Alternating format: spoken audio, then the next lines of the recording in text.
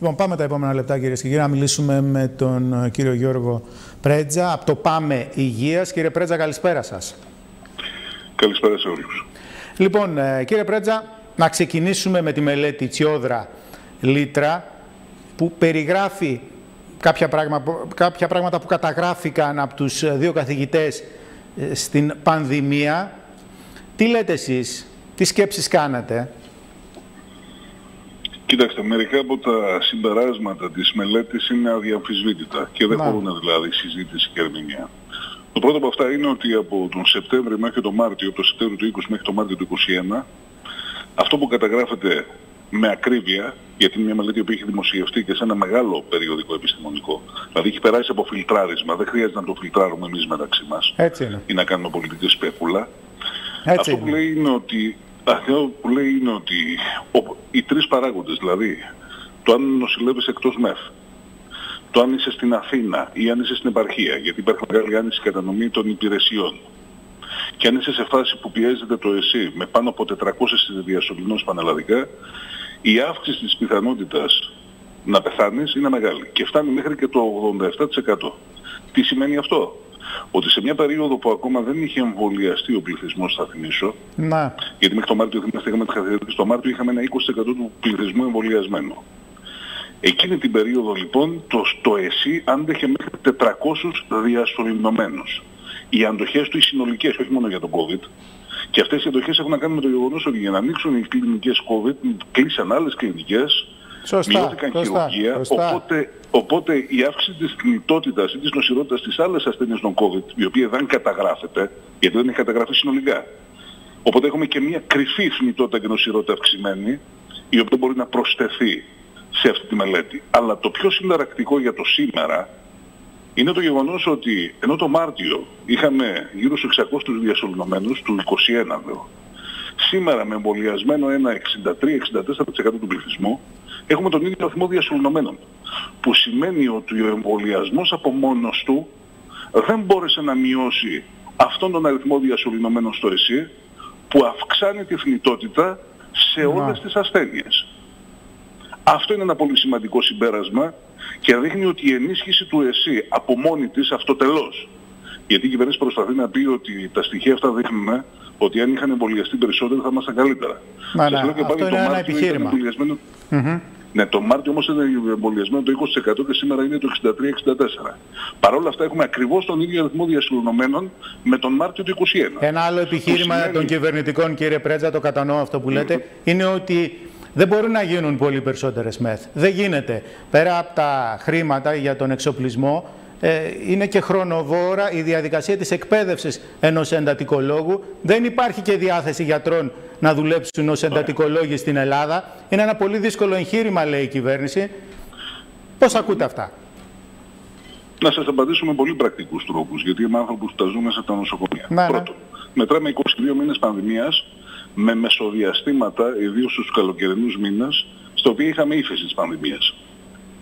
Στα 22 μήνες με διαστήματα ύφεσης υπήρχε όλο το χρονικό διάστημα για να μπορέσει ένα προσωπικό εντός του νοσοκομείου. Αλλά και άνθρωποι ειδικευμένοι που παραμένουν εκτός του συστήματος για να προσλαμβάνονται. Θα σας θυμίσω ότι ο ΕΝΚΕ πριν δύο μήνες έβγαλε μια ανακοίνωση ότι στο υποκράτο της Αθήνας για μια θέση αναισθησιολόγου μόνιμη υπήρχαν 28 αναισθησιολόγοι που ζούσαν μόνιμη θέση. Να. Δεν έρχονται για επικουρική, αλλά έρχονται για μόνιμη και αυτό είναι μέσα στην πλατφόρμα του Υπουργείου. Πρώτον. Δεύτερον, υπήρχε χρόνος να εκπαιδευτεί κόσμος μέσα από το ίδιο το ΕΣΥ. Πέρυσι το Σεπτέμβριο στο νοσοκομείο της Λευκάδας που έχουμε ένα απαράδεκτο γεγονός. Σε ένα καινούργιο νοσοκομείο, έξι κλίνες μέθολο καινούργιες, στείλανε το Σεπτέμβριο τέσσερις νοσηλεύτρες μόνο για ένα μήνα εκπαίδευσης στην Άρτα, αλλά τις γυρίσανε πίσω, κάτι μπλόκαρε το σχεδιασμό και δεν προχώρησε η διαδικασία εκπαίδευσης του προσωπικού για να ανοίξουν οι ΜΕΘ στην ε, Λευκάδα. Αλλά το κυριότερο που αποκρύπτεται είναι ότι υπάρχει ένας ιδιωτικός τομέας που έχει και εξειδικευμένο προσωπικό, έχει και ΜΕΘ και είναι σε πλήρη ασυλία. Να. Και εδώ πραγματικά φαίνεται το γεγονός ότι η αντίληψη που λέει ότι δεν, του κύριου Σκρέκα, ότι δεν μπορούμε να έχουμε ένα, ένα σύστημα υγείας πολυτελείας γιατί μετά την πανδημία δεν το χρειαζόμαστε. Να. Ή η αντίληψη του κύριου Πλεύρη, ότι δεν έχουμε κομμουνισμό και ότι επιτάσσεται πληρώνεται και που δεν έχουμε λεφτά, δεν θα επιτάξουμε. Ή η αντίληψη του Πρωθυπουργού πριν δύο χρόνια, ότι δεν μπορεί να δεχτεί ότι μπορεί να υπάρχει μια κοινωνία χωρίς ανισότητες, γιατί όπως είπε σήμερα ο κ. Πορτοσάλτε, η κοινωνική ισότητα είναι σοβιετικό επινόημα, που σημαίνει ότι έχουν αποφασίσει να διατηρήσουν την κατάσταση ως έχει. Και αυτό φαίνεται μέσα από τον ίδιο τον προϋπολογισμό. Σήμερα στο κρατικό προπολογισμό που συζητιέται στη Βουλή, εδώ και τέσσερις μέρες, πέρα από το ύψος των περικοπών που είναι δεδομένες ότι υπάρχουν για τα νοσοκομεία, που υπάρχουν για την πρωτοβάθμια φροντίδα ναι. υπάρχει κάτι άλλο που το καθορίζει. Ότι η κυβέρνηση λέει ότι δεν θα ενισχύσει περαιτέρω την υγεία. Κάναμε μεγάλες επενδύσεις. Μα η μελέτη Τσιόδρα μόνο για τους διασωλωμένους από το COVID δείχνει ότι το ΕΣΥ δεν αντέχει την ελάχιστη πίεση. Αν λοιπόν η παραδοχή είναι ότι σταματήσαμε να επενδύουμε στην υγεία, τη στιγμή που σε αυτό το προϋπολογισμό δεν είναι 7,5 δις για την πράσινη ανάπτυξη, 7,5 δις για εξοπλισμούς, υπάρχει το εγκληματικό και δολοφονικό σαν αντίληψη που λέει ότι με την υγεία σχολάσαμε και κάνουν διαρκώς εκπτώσεις κύριε Ντόκα, οι οποίες είναι φοβερά επικίνδυνες. Θα σας πω μόνο ότι ενεργοποιείται ο νόμος για τις διακομιδές των βαρέων διασωληνωμένων στα νοσοκομεία να. από ειδικευόμενους γιατρούς μέχρι και 6 μήνες όλων των ειδικοτήτων. Που σημαίνει τη διαχείριση ενός βαρέως πάσχοντα διασωληνωμένου θα την κάνει ένας ειδικευόμενος γιατρός στους 6 μήνες. Το προσωπικό που συνταξιοδοτείται φέτος είναι τόσο μεγάλο που είμαστε με λιγότερο προσωπικό σε κάποια νοσοκομεία από ότι ήμασταν στην αρχή της πανδημίας, όπως είναι η Πρέβαζα, όπως είναι η Λευκάδα, Θυμίζω τα μικρά νοσοκομεία που δει, είναι η ανισότητα που δείχνει και η μελέτη Λίτρα. Αυτό δεν μπορεί να γίνει ανεκτό. Δεν συζητάμε αν μπορεί να γίνει λιγότερο ή περισσότερο. Δεν μπορεί να γίνει ανεκτό. Αυτό είναι το βασικό συμπέρασμα. Κύριε Πρέζα, από την άλλη τις θέσεις του ΣΥΡΙΖΑ υπέρ της δημόσιας ναι. υγείας, πώς τις ακούτε; Να σας πω κάτι, τις, ε, επειδή είμαι άνθρωπος που ζω και την υγεία, τις ακούω τζάμπα, τζάμπα και εντελώς βερεσέ. Γιατί, Γιατί αυτό; Καταρχήν, ο ΣΥΡΙΖΑ ήταν εκείνος που τις ε, κρατικές δαπάνες, τη χρηματοδότηση από τον κρατικό προβλησμό για τα νοσοκομεία, τις έφτασε στον πάτο. Αύξησε το όριο δαπανού, δηλαδή τα έσοδα από άλλους πόρους, π.χ. απογευματινά ιατρία, όπως το Πανεπιστημιακό Νοσοκομείο, εκτοξεύτηκαν στην περίοδο του ΣΥΡΙΖΑ. Να. Δεύτερον, συμφωνεί με τη συνολική κατανομή κονδυλίων του Ταμείου Ανάκαμψης, λέει ψέματα ότι θα μπορούσε να τα χρησιμοποιήσει αλλιώς, γιατί αυτά έρχονται με ευρωνοσιακούς κανόνες πάρα πολύ αυστηρούς και το Ταμείο Ανάκαμψης ξέρετε τι προβλέπει για την υγεία. 1,5 δις χρηματοδότηση για να επιδοτηθούν τα ΣΔΙΤ. Όταν συμφωνείς με το εργαλείο το οικονομικό που υποδοτείται στα ΣΔΙΤ και έρχεσαι και λες ότι δεν συμφωνώ με τα ΣΔΙΤ και πουλάς τον παραμύθι θα μπορούσαν να το κάνει αλλιώς, είναι σαν το αριστερό μνημόνιο. Είναι σαν την αριστερά του ΝΑΤΟ. Δεν έχει καμία αξία. Και εδώ είναι η εξαπάτηση μέσα από τη διαδικασία του διπολισμού, στην οποία έρχεται να συμμετάσχει τώρα και το καινούργιο Τάχαμ Πασό, το οποίο και πάλι σας λέω, η συμφωνία με το Ταμείο Ανάκαμψης, ναι. με τις κατανομές του ΕΣΠΑ, δεν δίνουν περιθώριο σε κάποιον. Δηλαδή όταν είσαι υπέρ των αιτιών ενός φαινομένου, δεν μπορεί να λες είμαι ενάντια στις επιπτώσεις του. Όταν είσαι υπέρ των αιτιών κάποιων πραγμάτων, θα έχεις και τις επιπτώσεις. Με αυτήν την έννοια ότι δεν υπάρχει διέξοδος σε αυτό το σκυλοκαυγά, γιατί έχουν συμφωνήσει στα πάρα πολύ βασικά. Αυτό είναι το πολύ σημαντικό. Μάλιστα. Με τους πολλούς συμβασιούχους στο Πανεπιστημιακό, κύριε Πρέτζα, τι γίνεται, τι θα γίνει. Υπάρχει, υπάρχει μια δικαστική ε, ε, διαδικασία η οποία ε, έχει ορίζοντα τα μέσα Ιανουαρίου. Μέχρι τότε παραμένουν στη δουλειά τους οι πολλοί συμβασιούχοι στο Πανεπιστημιακό, οι οποίοι κάνουν ναι, ναι. πολύ σοβαρή δουλειά εκεί. Τι θα γίνει με αυτούς; Ακούστε, αν εντάξετε αυτό που θα σας πω, στην προηγούμενη συζήτηση, ότι η κυβέρνηση λέει τελειώσαμε με την ενίσχυση του ΕΣΥ, θα δούμε ότι για αυτούς τους συμβασιούχους για τους οποίους επιτεύχθη μια δικαστική δικαίωση παραμονή μέχρι το Γενάρη, έρχεται το Υπουργείο Υγείας και βγάζει μια τροπολογία πριν από λίγες μέρες, η οποία λέει τι. Δίνανται οι διοικητές να δώσουν τρεις μήνες παράταση, δίνανται αν θέλουν, προκειμένου να ολοκληρώσουν επιτυχώς τους διαγωνισμούς για τους εργολάβους. Μάλιστα. Στο Πανεπιστημιακό Νοσοκομείο ο διαγωνισμός έχει πάει στην αρχή προδικαστικό προσφυγών από δύο εταιρείες οι οποίες έχουν κατηγορήσει ως φωτογραφικό το διαγωνισμό. Αυτή είναι η κατηγορία, δηλαδή έχουμε μπλέξει και σε τέτοια ζητήματα. Θα δούμε τι θα προκύψει.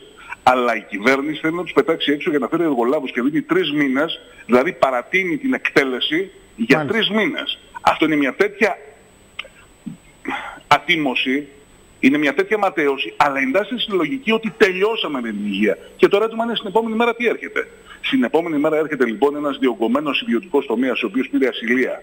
Του στείλανε πελατεία ασθενείς από τα χειρουργεία. Τους στείλανε πελατεία για τα τεστ των ανεμβολίαστων. Τους στείλανε πελατεία με κάθε τρόπο. Ανοίξανε από μονάδα ιδιωτική τεχνητού νεφρού στα Γέννα μέχρι και δύο μεγάλα ιδιωτικά εργαστήρια. Και θα έρθουν να μας σώσουν Και σε αυτή τη διαδικασία, ξέρετε ποιο είναι το πιο σημαντικό που αποκρύπτεται, ότι δεν έχουμε επιστήμονες να μιλήσουν. Το σημαντικό με τη μελέτη Τσιόδρα Λίτρα ήταν ότι ο κύριος Λίτρας βγήκε και μίλησε. Υπερασπίστηκε ως επιστήμονας την ευθύνη του ότι την επιστημονική γνώση δεν την παράγεις για να την κρατάς μεταξύ των επιστήμονων. Βγαίνεις και τη λες. Μάλιστα. Θυμηθείτε τους επιστήμονες και εδώ τους ντόπιους που μιλάνε στα τοπικά κανάλια. Έτσι πρέπει. Ναι, Πόσες φορές βγήκαν και αξιοποίησαν αυτή τη γνώση για να βγουν συμπεράσματα ή να συγκρουστούν με αυτούς οι οποίοι έχουν το ταμείο και οργανώνουν. Σκεφτείτε λοιπόν ότι το ναι. πρόβλημα το μεγάλο που ανακύπτει είναι ότι οι επιστήμονες σιωπούν σε πολύ μεγάλο βαθμό.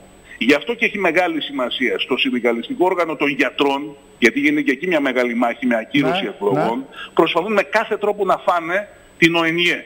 Να φάνε την Ομοσπονδία των Γιατρών, στην οποία το πάμε, οι δυνάμεις της ΔΙΠΑΚ, κυριαρχούν και έρχονται σε ευθεία κατά μέτωπον έντιμη, ακέραια επιστημονική σύγκρουση με όλη αυτή τη λογική, όχι μόνο της κυβέρνησης και των αστικών κομμάτων που εξυπηρετούν αυτή τη στρατηγική της Ευρωπαϊκής Ένωσης. Γιατί όταν έχεις αυτή την αντίληψη για την οικονομία, το Ταμείο Ανάκαμψης, Μάλιστα. το προϋπολογισμό, Κατανοώ αυτό που λέτε, δεν χωράει κάτι για την υγεία. Τώρα κύριε Πρέτζα, για να λοιπόν- κλείσουμε, το πάμε ρεαλιστικά σε αυτή τη φάση και μέσα σε όλα όσα περιγράφεται. Ρεαλιστικά, τι λέει; Σε χρόνους τηλεόρασης, συνοπτικά πείτε μου.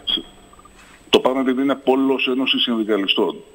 Το ΠΑΜΕ λέει ότι αυτή τη στιγμή μόνο ο λαός μπορεί να σώσει το λαό και αυτό σημαίνει οργάνωση στα συνδικάτα. Σημαίνει ξεκαθάρισμα με ποιος είναι φίλος και ποιος αντίπαλος.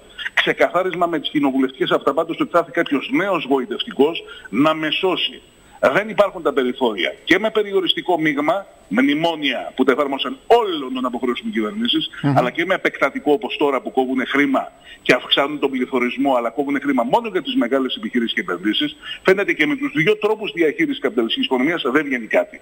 Το οποίο σημαίνει σύγκρουση και ανατροπή. Αλλιώς θα μετράμε διαρκώς νεκρούς είτε από COVID είτε από non-COVID ή που θα καίγονται από τα μαγκάλια γιατί δεν μπορούν να ζεσταθούν. Πολύ σημαντικό αυτό που λέτε. Το υπογραμμίζω. Πολύ σημαντικό αυτό που λέτε. Άρα Καλά κάνετε και το λέτε.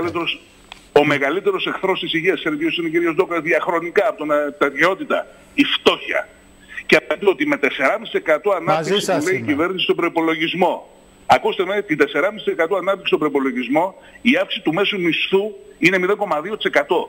Αναρωτιέται κανείς πώς με ανάπτυξη 4,5% ο μέσος μισθός αυξάνεται μόνο 0,2%. Ο μέσος; Που σημαίνει πού πάει όλο το άλλο παραγόμενο προϊόν η αύξηση της πίτας. Γιατί η φτώχεια, η ανεργία, η υπερεργασία με τον νόμο Χατζηδάκη όλη αυτή η κατάργεια, η κατάθλιψη, οι ψυχικές ασθένειες από το πώς εξελίσσεται η ζωή μας στην αβεβαιότητα, να ξέρετε θα δημιουργήσουν ακόμα μεγαλύτερη ασθένεια. Σας και ευχαριστώ ασθένεια, κύριε Πρέτζα. Θέλω να την κάνουν εμπόρευμα. Δυστυχώς έχετε δίκιο κύριε Πρέτζα. Αξιολογείτε αυτό που λέτε από τον κόσμο, αλλά δυστυχώς έχετε δίκιο. Ευχαριστώ. Να είστε καλά. Θα τα ξαναπούμε σύντομα. Να είστε καλά κύριε Τοκαβού.